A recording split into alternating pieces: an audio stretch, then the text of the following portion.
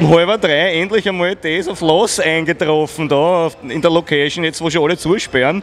Äh, Days of Loss haben heute die Szene zerlegt, glaube ich. Die Wiener Szene, gemeinsam mit Hollenton. Ja, wie war der Kick?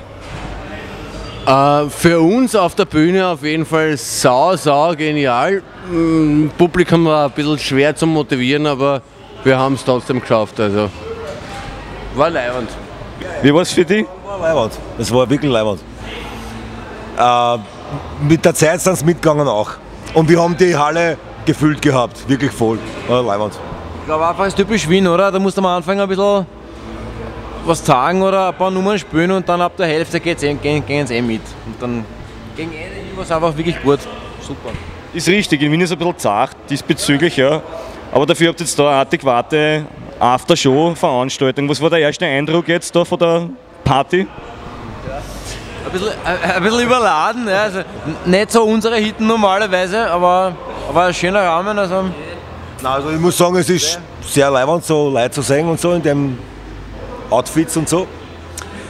Ja, leibend. Auch der eh voll, gibst du. Ja, voll. ist so.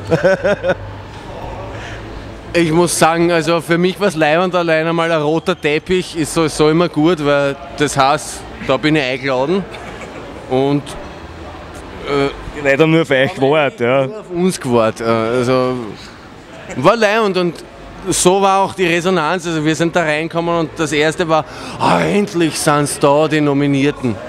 Muss man noch dazu sagen, wir hätten ja fast den Amadeus gewonnen. Also wir waren ja Zweiter. Aber nur fast, muss man dazu sagen. Und wie gefällt es euch da so im Schloss Schönbrunn? Sehr schön. nee, Das Schloss Schönbrunn, oder? Das ist doch der Palais Ausberg. Du bist der Erste, der das merkt. Also verarschen kannst du im anderen, weil wir sind da im Palais Ausberg als VIP geladen. Wir wurden auch gut behandelt. Du hast Crepes bekommen, gell, oder? Und so, Ja. so Hors d'oeuvre. Ja, voll. Also War er war früh genug da, also dass er Hors d'oeuvre und, und Crepe bekommen hat und so. Und Was ist viel, Crepe? ich weiß nicht, irgendwas, was nur die reichen Leute bekommen. Auch wenn es mir nicht erlaubt ist, ich sage das trotzdem, wir müssen uns leider von unseren liebsten und besten Schlagzeuger verabschieden mit diesem Gig heute.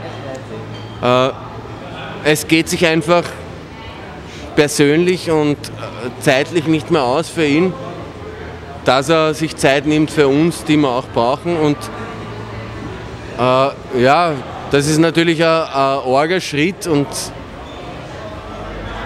dementsprechend war der Gig auch heute sehr wichtig für uns, Sehr emotional. sehr emotional und, und ja, es war einfach ein arger Gig und, und das letzte Mal mit dem Offen zusammenspielen war schon leibend.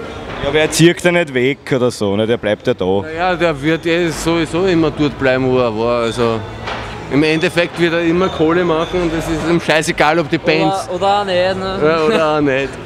Na, aber war halt ein arger Gig irgendwie so, also, inso, also rein bandtechnisch war es sehr interessant, den letzten Gig mit, mit unserem besten Schlagzeuger, den wir jemals gehabt haben, zu machen. Nicht der nächste kommt bestimmt, oder? Ja, der wird noch besser Ja, sein ist und schon du wirst weinen. Notfalls zahlen wir ihm 200er für den nächsten Gig. Bist du erpressbar? Immer. Na schau, schau. Ich, ich sag dazu, es ist ein, ein, ein Konzert gewesen mit vielen Emotionen. Also wirklich Vollgas. Ja. Immer bei, das das gleiche Nummer, ja? nein, äh, über bei der letzten Nummer habe ich mir gedacht, äh, ja, das war es jetzt wirklich dann. Ja. Also ich finde es nicht, ich finde es nicht leibend, das Ganze, so von meiner Seite aus, weil ich kenne ihn schon seit Saturus Zeiten und so, aber er weiß selber, warum es so ist, warum es so passiert ist. Wie schaut es denn da jetzt aus? Wegen am Durst war es gewesen. Also es wird keiner verdursten. Somit, ja, glaube ich, es sitzt eh schon auf Nadeln, also geht's was trinken und ich sage einmal danke fürs Gespräch und genießt noch eure persönliche Aftershow-Party. Mike von Stormbringer.at legt für heute das Mikrofon aus der Hand und geht jetzt was trinken.